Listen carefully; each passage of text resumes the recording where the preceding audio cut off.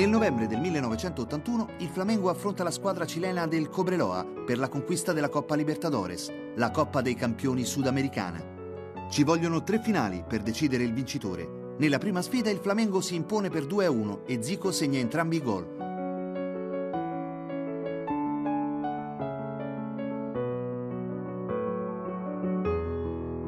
Nella finale di ritorno in Cile è il calcio violento del Cobreloa ad avere la meglio. I rossoneri sono sconfitti 1-0. Abbiamo giocato una finale contro una squadra del Cile, il Cobreloa, che era una squadra che non piaceva molto del calcio, voleva, picchiavano sempre, ha avuto una situazione che un difensore è arrivato nel, nel grande con una pietra di mano, un giocatore nostro che ha, ha ricevuto una, una, una pietra sul supercilio, ha avuto 5-6 punti. Nell'ultimo incontro in campo neutro, Zico è il protagonista assoluto siglando la doppietta decisiva.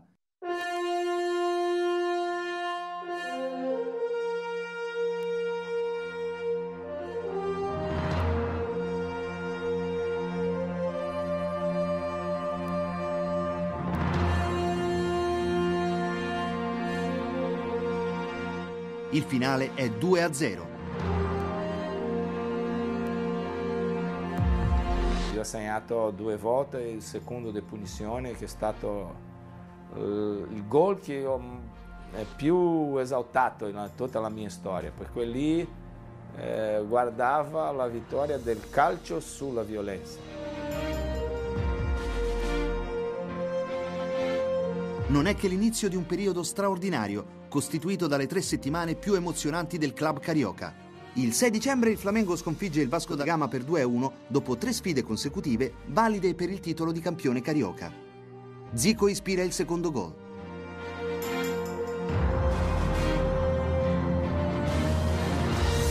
Sette giorni dopo il Flamengo vola in Giappone per giocarsi la Coppa Intercontinentale contro il Liverpool. Um ano depois do título brasileiro, o início da etapa mais perigosa da viagem rumo a Tóquio. Meu amor é minha família e o Flamengo sobretudo. A Tokyo si gioca in un'atmosfera un po' surreale, con un pubblico ancora digiuno di calcio. Il calcio nel Giappone era 81, era una cosa molto piccola, un pubblico molto ristretto. Quando un difensore tirava un pallone dell'aria, la gente eh, applaudeva perché pensava che era una cosa buona per il calcio, perché loro erano abituati con il baseball, che quello lì dava quella, quella, quell'attacco, la palla andava a noi, la gente, eh, Romura, che nel calcio non esiste.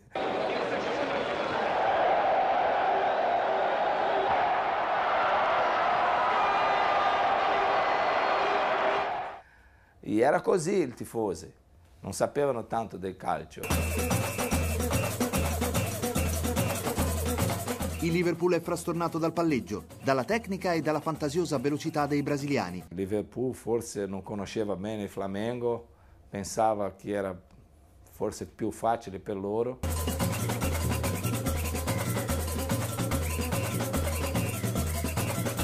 E io avevo un'azione con Nunes.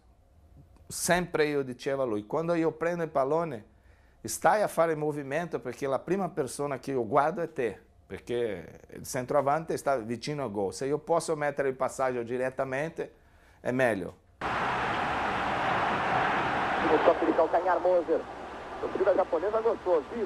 Poi ho preso un pallone eh, nel mezzocampo, ho ricevuto del Moser il pallone. Sempre quando io prendevo il pallone, che io mi girava, guardava, lui ha fatto un movimento e ha fatto un passaggio lungo sopra il difensore e lui è rimasto davanti alla porta, il portiere uscito, Gobrelari, lui è stato toccato e ha segnato il primo gol. Moser, torcida japonesa gostou, Zico. Pula elevação para Nunes, partiu, olha a chance, olha o gol, tocou Nunes!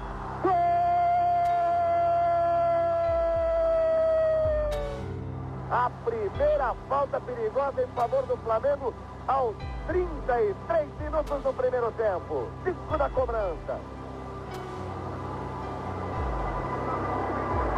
Positivo em todo o Brasil. Partiu Zico, bateu, soltou o goleiro. Deixou também limpo Adílio. Gol! terzo gol la stessa cosa, loro hanno cominciato a fare fuori gioco e io ho ricevuto sul mezzo campo e Nunes ha fatto il movimento. Na frente para Nunes, posição legal. Olha o terceiro gol do Flamengo, atiro pelo meio, bateu. Gol! Alla fine del primo tempo il risultato è già acquisito, 3-0. Sul neutro di Tokyo, davanti ad oltre 60.000 spettatori, autentico record di folla per il Giappone, l'11 brasiliano del Flamengo ha battuto con un secco 3-0 gli inglesi del Liverpool. Sono stati decisamente 90 minuti di calcio a senso unico. Ispirato da Zico, fonte inesauribile di gioco, il Flamengo ha dominato i campioni inglesi in ogni fase di gioco, in virtù di una superiorità tecnica e tattica indiscussa. Zico è il perno del gioco d'attacco, ispiratore di tutte le reti brasiliane. Alla fine è premiato con una Toyota come miglior giocatore della partita. Per il club rossonero è il terzo titolo conquistato in poco più di 20 giorni, l'apice di quella che la torsida del Flamengo ricorda ancora come era Zico.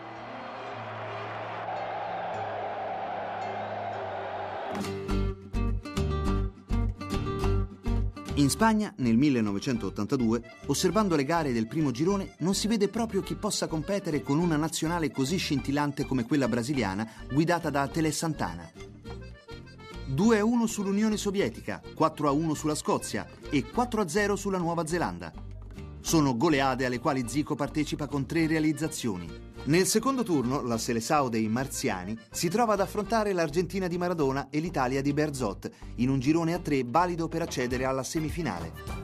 La prima sfida è Brasile-Argentina. Il Galigno fa il mattatore. È Zico che ha segnato. Zico al dodicesimo minuto. Nel finale, il numero 10 manda in rete Junior con un filtrante da manuale. Il risultato è 3-1 per i brasiliani. E il Brasile va in gol con Junior.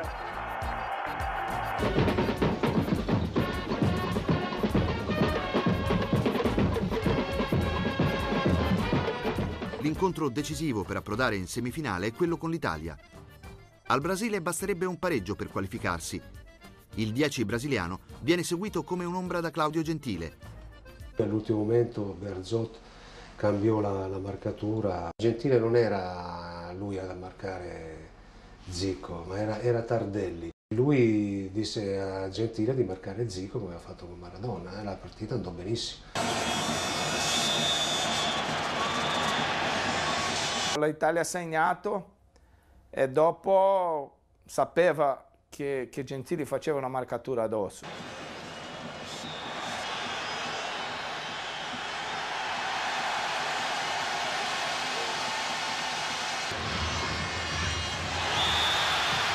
L'arbitro guardava la palla con Socrate. Quando eu ho fatto il movimento che lui mi ha preso la maglia, mi ha strappato la maglia, quando l'arbitro girò già era già non, non, non, non, mi prendeva più. E l'arbitro non ha visto, non ha dato. E questo è intelligenza, furbizia di un giocatore.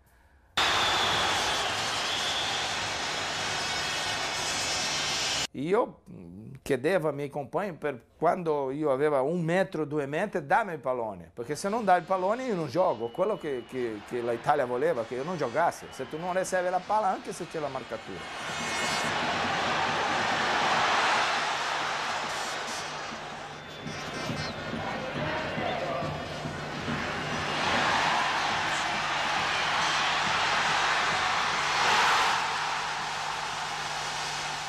Mi hanno dato la pallone, io faccio, ho fatto una finta, io ho fatto un bello passaggio per Socrates che ha pareggiato. Subito l'Italia ha fatto il secondo gol. Abbiamo pareggiato. Io credo che la presunzione quel giorno fece perdere il Brasile, perché se sul 2-2 loro si accontentano del pari. Cinque minuti dopo l'Italia segna il terzo gol. Se tu vedi, noi non abbiamo giocato più di, di 10 minuti con vantaggio del pareggio. E questo forse era il tipo di gioco che poteva favorire l'Italia. Loro volevano vincere la partita a tutti i costi, quindi insomma, hanno fatto il conto senza l'oste quel giorno lì, e l'oste era, era l'Italia. La sfida verrà tramandata in patria come la tragedia del Sarrià, perché nessuno poteva pensare a un epilogo quale quello che si consuma nello stadio di Barcellona. L'enorme delusione per il mondiale perduto produce due effetti contrastanti in Zico. Da un lato, quel che non ha dato l'avventura in nazionale viene riscattato dai successi con il club.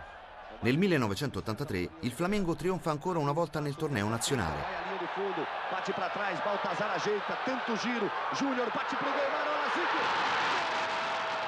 E nella finalissima contro gli eterni rivali del Santos non può mancare la firma El Galigno fra le reti che fissano il risultato sul 3-0.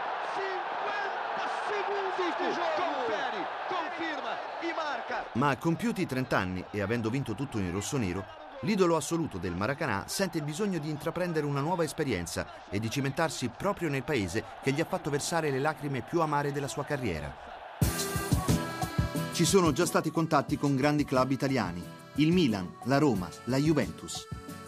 Tutte società ricche che possono offrire quel che il Flamengo chiede per privarsi del suo giocatore più prestigioso. Nessuno poteva immaginare che sarebbe stata l'Udinese, la piccola squadra del Friuli, a riuscire nel miracolo di comprare uno dei campioni più venerati del pianeta.